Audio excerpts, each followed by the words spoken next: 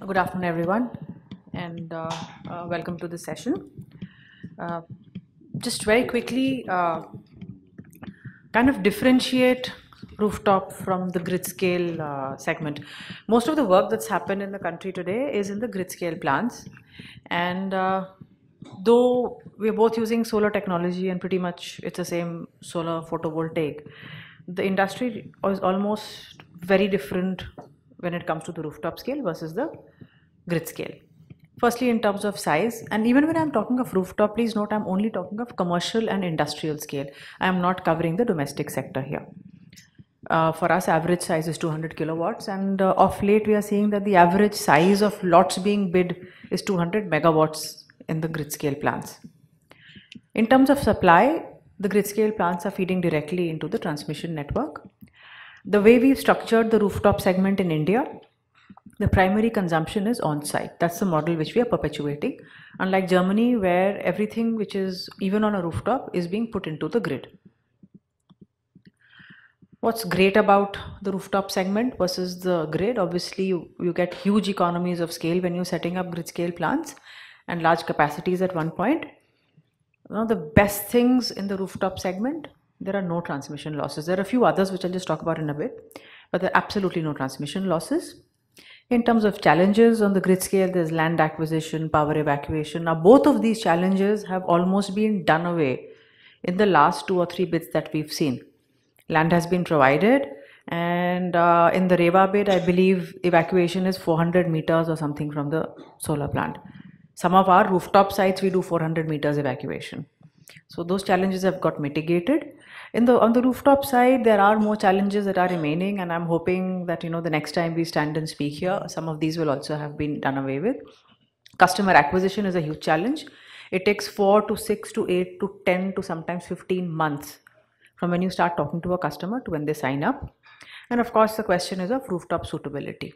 You know, we're sitting in a massive hotel I don't think the roof of this building will have space for more than 50, 100 kilowatts of solar because of the way the roof is laid out.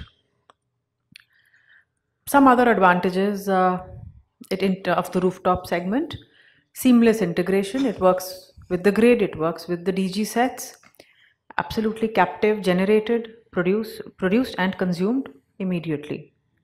So no losses. And in our country, we have about, I think 19% is the average loss includes transmission theft wastage everything it takes maybe just one month to implement.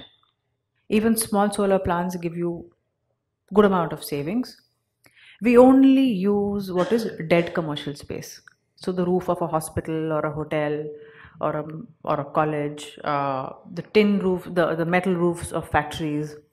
So nothing which has commercial value for the client. Because these are long term you know uh, projects with very very long term payback. You know the life of a solar plant is at least 25 years. And anybody people are not very happy committing land. So most of the projects happen on the rooftop which is why it's called the rooftop sector. The technical term of course is distributed solar. For us it doesn't matter whether it's on the ground or on the roof. We have technologies that does not disturb the business. All of us it's not just my company where it's all non-penetrating technology whether it's an rcc roof or if it's a metal shed uh, it's a modular kind of a structure. Today I have set up a 100 kilowatt plant. Tomorrow if I want to increase this plant to 300, 400, 500, I can easily do that.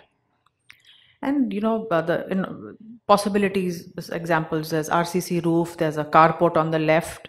The roof was not available, so we created a superstructure on the bottom right hand side. And the top one, it's not very visible, but that's a typical industrial metallic shed. Then we come to, that's so much about rooftop we talked about the capex opex. So opex is also what the way we work with it is solar energy solar power as a service model wherein the entire investment is done by us. So there is no capital cost or maintenance cost to the user. Because the entire investment the choice of what module what inverter how to set it up how to design it how to lay it out on a building all of that is mine. So there is no risk for the user here so the user may be in the business of making shoes or cars. Solar is not their area of expertise. Solar is our area of expertise. So we tell them, you know, you just buy the energy from this plant. How this plant is to be made, how it is to be sized, what technology is to be used, leave that to us. We are the experts in this area. There is a long-term price certainty. Even if it's a 15, 20, 25 year power purchase agreement, the price for the entire period is decided today. So obviously we don't have this kind of luxury when we're talking of grid power or even we're talking of diesel power. The way the PPAs are structured, we ensure that for every unit of solar consumed, there is a saving. Obviously, in states of like Maharashtra and Delhi, where tariff is high, grid tariff, savings are higher. In places like maybe Telangana, Andhra, relatively savings are lower. But we ensure that the tariff escalation is structured in a manner that at all points in time, solar power is not more expensive than grid power. And most of our plants, at the end of the PPA term, there's a free transfer. So if you've got, you know, the minimum life is 25 years, after 25, after 20, we've transferred the plant. Uh, on the business challenges, very quickly, there's very little information even today. And unfortunately, there's a lot of misinformation coming in from this 3 rupees, 2 point whatever, 4, 6 or whatever those numbers are happening now. So even if my client wants a 100 or kilowatt or even a 1 megawatt plant, they want those numbers. And it's very difficult now. Sometimes i think perhaps the time when they didn't know anything was better than where things are today because expectations are unrealistic. Uh, we these are private ppas so one private party signing with us 20 25 even 15 years is too long a contract time. That's something else which places a huge huge uh, hindrance. They say we'll sign for 3 years and renew but what happens if you don't renew after three years? After three, three years, if I have to take my asset off from the rooftop, I will lose a lot of money on it. The quantum of savings sometimes is very low, especially for large conglomerates. Imagine like, you know, a 5,000 crore company and I'm setting up a 500 kilowatt plant. Each unit is 2 rupees cheaper than the grid. Still, you know, the whole year savings is sometimes 5 lakh, 10 lakh, 15 lakh rupees. So then they get very, you know, disinterested or, you know, why?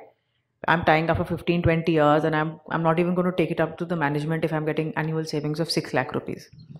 So percentage per unit may be high, but because rooftop sizes are small, usually the total savings per year are small. So we try and tell them don't look at it as a one year exercise, look at it as a savings over a 20 25 year period and see how much you're because roof uh, the solar price escalation should be lower than how grid price will escalate in the long run.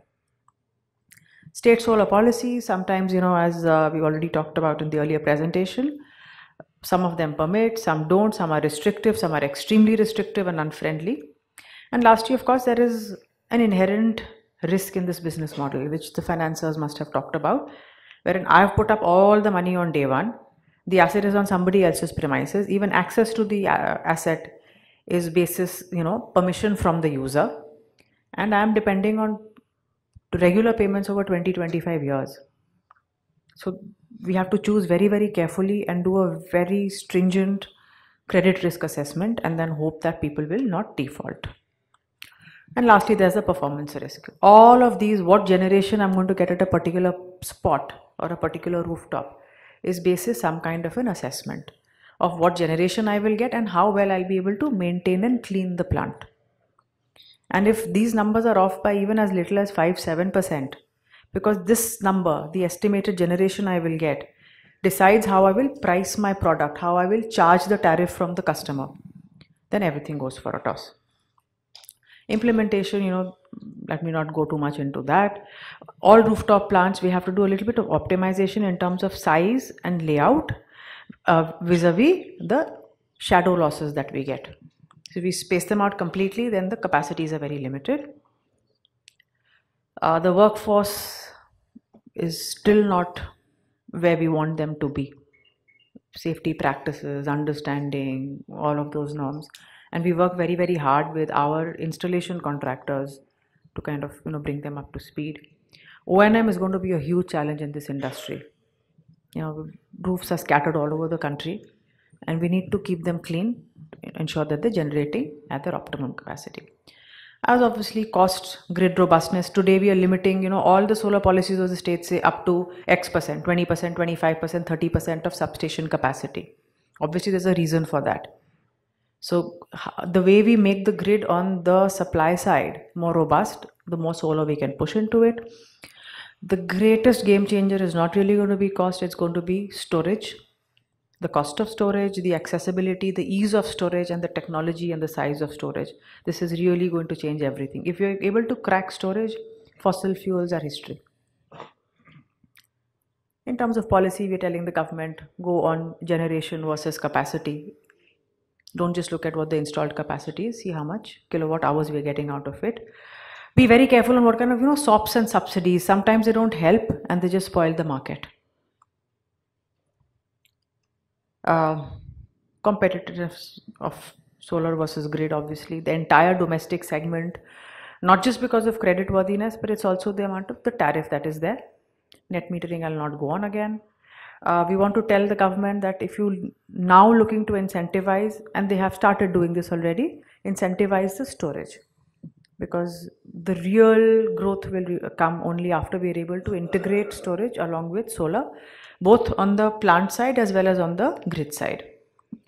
And somehow to also finally get the small scale MSMEs and domestic customers into into the uh, rooftop solar gambit. They're completely missing today, at least on the OPEX side. They're there on the CAPEX side, but completely missing on the OPEX side.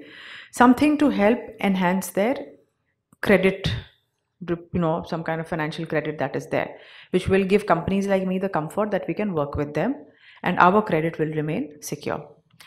With all those challenges, is it possible to grow? Yes, we were just founded in 2013. 2014 is when we first commissioned our projects. 2015 is when we got invested in. We got 150 million of equity. and we started getting some big ticket contracts. 5 megawatt Walmart uh, acquired 6 megawatts of SunEdison's assets. Uh, then we committed, uh, did a 4 uh, megawatt solar plant in Bangalore airport, the first one with tracker technology at an airport where we had to convince them doing an anti-glare study that this will not impact the pilots when they're landing and taking off. And uh, SECI bids. And finally, in March 17, we've also commissioned a 40 megawatt open access project. So we were at about 30 megawatts or so in 2016, and we've grown to over 100. We're now about 117 today. And so this kind of tells you that with all the challenges and issues that are there, this sector is viable commercially it makes sense i know it's early days yet but the model works i'll not go into this in detail thank you so much